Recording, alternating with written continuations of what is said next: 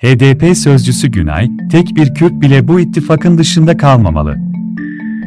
HDP sözcüsü Ebru Günay, Demokrasi İttifakı kurduklarını belirterek, Kürt partilerle geniş bir ittifaklar kurmak istediklerini belirtti.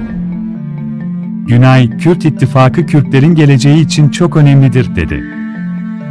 Halkların Demokratik Partisi, HDP sözcüsü Ebru Günay, parti genel merkezimizde haftalık basın toplantısı düzenleyerek gündemdeki konuları değerlendirdi.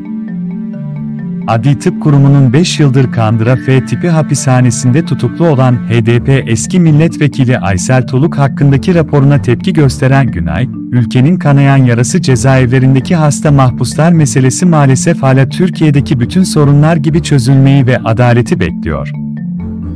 Son olarak Aysel Tuluk ile ilgili Kobanu Kumpas davasında savunma yapıp yapamayacağını sordu. ATK, ilgili soruyu cevaplamadan cezai sorumluluğunun tam olduğunu söylediği bir rapor düzenledi. Mahkeme başka bir soru sordu, ATK ise tıbbi normlardan uzak bir rapor hazırladı. Bir kez daha ATK söz konusu hasta tutsaklar olduğunda ne kadar düşmanca yaklaştığını, kendisini yargının ve iktidarın yerine koyarak raporlar düzenlediğini bir kez daha gördük, dedi.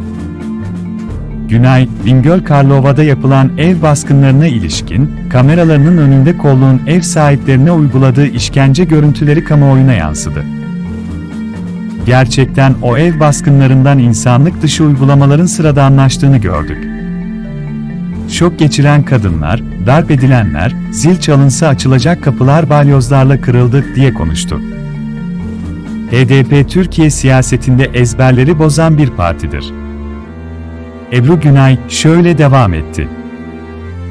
Bizler HDP ve bileşenleri, sosyalistlerle, demokrasiden yana olanlarla, Alevilerle, demokratik İslami değerlere inananlarla, emekçilerle, kadınlar ve gençlerle ve en önemlisi sistem tarafından dışlanmış bütün kimliklere dayanan bir partiyiz.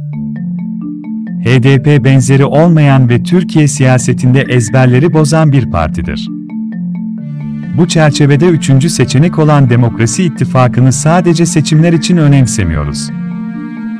Devletçi bloklar dışında üçüncü yolu temsil etmek, demokratik ülke hayalini haklar lehine gerçekleştirmek istiyoruz. Hangi ortak zeminde bulunabileceksek, dostlarımız ve müttefiklerimizle o zemini bulup gerçekleştireceğiz. Tek bir vicdanlı muhalifin bu ittifakın dışında kalmayacağı tarihsel bir ittifakı kurmaktır. Bizler HDP olarak Demokratik İttifakı gerçekleştirmek için çalışmalar yürütmeye devam edeceğiz. İktidar ülke kaynaklarını saraya, savaşa, yanlışa ve talana aktararak halkı yoksulluk, sefalet ve ölümle yüz yüze bırakıyor, diyen Günay, bir yandan elektrik faturalarına karşı protestolar diğer yandan emekçilerin emek mücadelesi büyümeye devam ediyor. İşçi ve emekçiler iktidarın sömürü çarkına karşı itiraz ediyorlar, seslerini yükseltiyorlar, girevlerini büyütüyorlar. Farklı iş yerlerinde halen 50'den fazla girev var, ifadelerini kullandı. Günay, işçilerin talepleri ne? Evlerine ekmek götürmek, kışın soğunda evlerinin ısınması, çarşı pazarda el yakan fiyatlara karşı insanca yaşam, en önemlisi de güvencesiz esnek çalışma saatlerine karşı insan onuruna yakışan çalışma iş ve emek rejimi talep ediyorlar. Talepler asgari talepler, meşru ve haklı taleplerdir.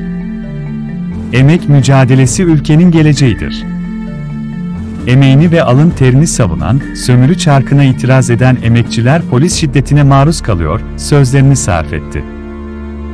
HDP olarak işçilerin yanında yer almaya devam edeceklerini belirten Günay, onların talepleri bizlerin de talebidir.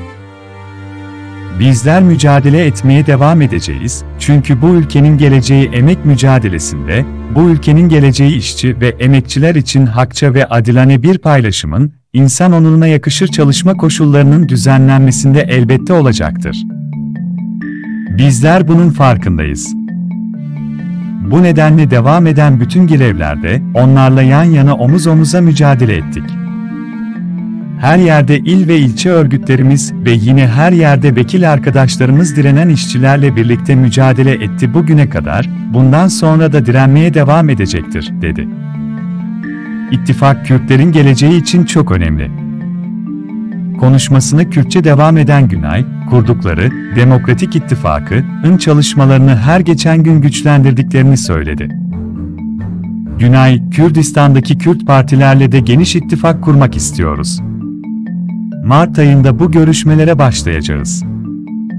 Kürt ittifakını büyütme çabalarımızı artıracağız. Amacımız hiçbir Kürdün bu ittifakın dışında kalmamasıdır. Çünkü Kürt ittifakı Kürtlerin geleceği için çok önemlidir şeklinde konuştu. HDP sözcüsü, tüm Kürtlere ve Kürdistanlılara çağrımız, Kürdistan'daki Kürt partilerle geniş ittifak kurarak Kürt halkının özgürlüğünü korumak için birlikte çalışmaktır. Kürtleri birleştirmek istiyoruz. Kürtler zalimlerin sesine kulak vermemeli. Kürtler için sadece Kürtlerin birliği, özgürlüğü esas alınmalıdır. Çünkü gün Kürt birliğinin günüdür. Kürtlerin birliğini inşa etmek için çalışacağız, yorumunu yaptı. HDP eş genel başkanı Pervin Buldan, Altı Muhalefet Partisi'nin bir araya geldiği ancak HDP'nin çağrılmadığı toplantıya değinerek, HDP, bu ülkenin geleceğinin adıdır. HDP olmadan demokrasiyi konuşmak çözüm değildir ve HDP'nin içinde olmadığı bir gelecek arayışı, yeni bir gelecek sunmaz, sunamaz, dedi. Buldan, partisinin meclis grup toplantısında yaptığı konuşmada, Türkiye'nin bugün karşı karşıya olduğu, büyük çöküşün, nedenlerini anlamak için yakın geçmişte yaşananları bir kez daha irdelemek gerektiğini söyledi. Bu kirlenme Kürt sorununun çözümsüzlüğünün bir sonucu. Pervin Buldan, ülkeyi kuşatan açlık, yoksulluk, yolsuzluk, demokratik hak ve özgürlüklerin ortadan kaldırılması, kayyum rejiminin her yere yayılması, siyasi kumpaslar, hukuksuzluklar, darbeler, mafya ve çeteler, bütün bu kirlenme, çürümeler Kürt sorunu ve demokrasi sorunlarının çözümsüzlüğünün bir sonucu olarak karşımızda durmaktadır, ifadesini kullandı. IŞİD liderinin sınırın 4 kilometre ötesinde, Türkiye'nin kontrolündeki noktada öldürüldüğünü anlatan Buldan, yeni emiri olarak açıklanan kişi ise daha geçenlerde sınıra 1,5 kilometre mesafede öldürüldü ama bir sonraki de sınırın bu tarafında ortaya çıkarsa hiç kimse şaşırmasın. Türkiye sınırlarını kendilerine güvenli alan olarak gören bu karanlık yapı, cesareti geleneksel Kürt düşmanlığı politikasından almıştır, almaya da devam ediyor, diye konuştu. Yastık altında para, altın yok, faturalar ve haciz tebligatları var. Buldan, çözümsüzlük siyaseti sonuçlarının büyük ekonomik çöküş olarak yaşandığını, iktidar ve küçük ortağının Türkiye'yi buhran dönemine soktuğunu, ülkeyi felakete doğru götürdüğünü söyledi. Bugün, milyonlarca emekçinin 2022'nin ilk tam zamlı maaşını aldığını hatırlatan Buldan, bu ülkenin emekçileri ve emeklileri bugün aldıkları maaşın tamamını, %127 arttırılan elektrik, %100'ün üzerinde zamlanan doğalgaz ve gıda faturalarına, %200'ün üzerinde zamlanan akaryakıta, %100'ün üzerinde artan kiralarına harcadılar.